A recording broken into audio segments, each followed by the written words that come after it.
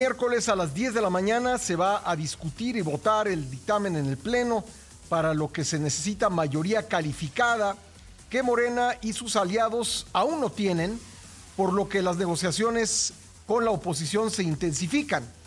La jornada de cabildeo involucró a funcionarios federales, gobernadores y hasta el embajador de México en España, Quirino Ordaz, quien tuiteó anoche al senador priista Mario Zamora para pedirle que apoye la iniciativa.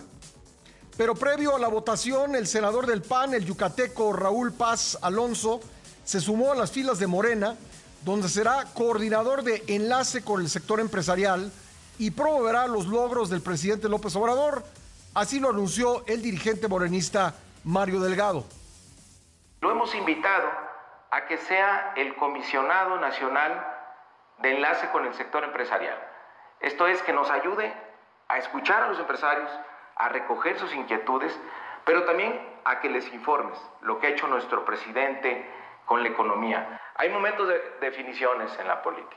O se está con el pueblo o se está con una minoría que no le interesa el bienestar de la gente. Y la paz y la tranquilidad de las y los mexicanos no tiene precio. Así que qué bueno, Raúl, que te sumes a este movimiento, a trabajar en favor de la cuarta transformación. Bienvenido. Gracias ya, pues a trabajar sobre todo por los que menos tienen. En sus redes sociales, el senador Paz Alonso explicó su decisión, la llamó la más difícil de su vida laboral y política. En la vida hay que tomar decisiones.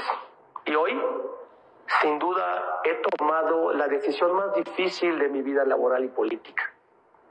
Y no difícil por lo que implica la decisión, sino difícil porque sé a qué me voy a enfrentar y a los ataques de distintos intereses mezquinos que me van a querer demeritar.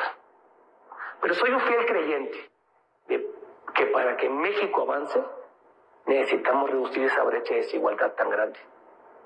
Y estoy muy consciente de que el único gobierno y presidente que ha mirado a ver al sur de nuestro país es Andrés Manuel López Obrador y este gobierno de la cuarta transformación.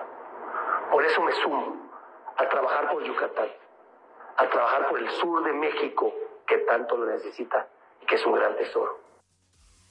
Bueno, eso dijo ayer, eh, días atrás, había subido un video en donde criticaba justamente esta iniciativa de militarización y ayer rápidamente borró ese contenido de las redes sociales. ¿Qué habrá hecho cambiar de opinión al yucateco Raúl Paz Alonso? Vaya usted a saber, pero el volantazo pues es evidente en este caso.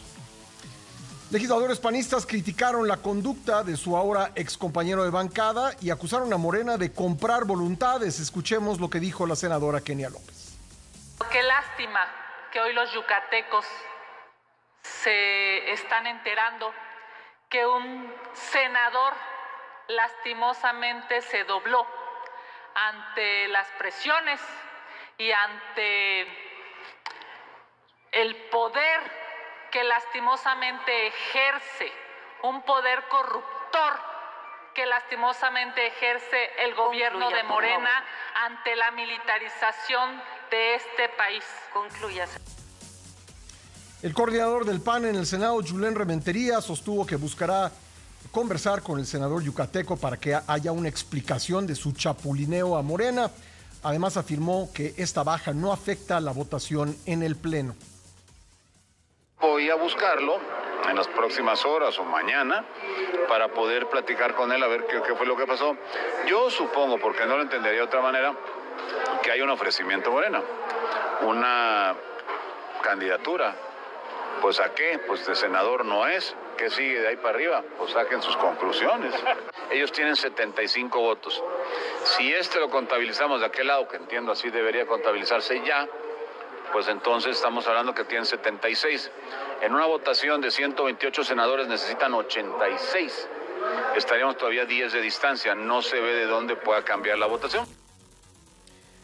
Horas antes de que Raúl Paz abandonara el PAN, el líder panista Marco Cortés pedía a los senadores priistas que no se vendieran o doblegaran ante las presiones.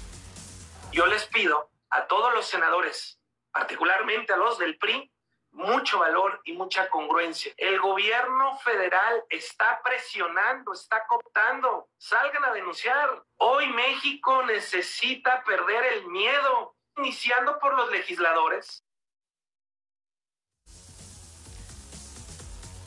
Marco Cortés reiteró que ya le perdió la confianza al dirigente priista Alejandro Moreno y es que dijo que quien traiciona una vez traicionará siempre aclaró que podría mantenerse la alianza, pero solo con priistas honestos. En respuesta, el coordinador del PRI en la Cámara de Diputados, Rubén Moreira, hizo un llamado al jefe nacional panista a no anticipar un rompimiento con Moreno. Responsabilizó a Marco Cortés de una eventual ruptura legislativa y electoral. Yo le pediría a Marco Cortés que guardara prudencia, que tuviera mesura y que pensara en la alianza. El PRI está por la coalición, que quede muy claro. Si la coalición se rompe es por las actitudes personales de Marco Cortés.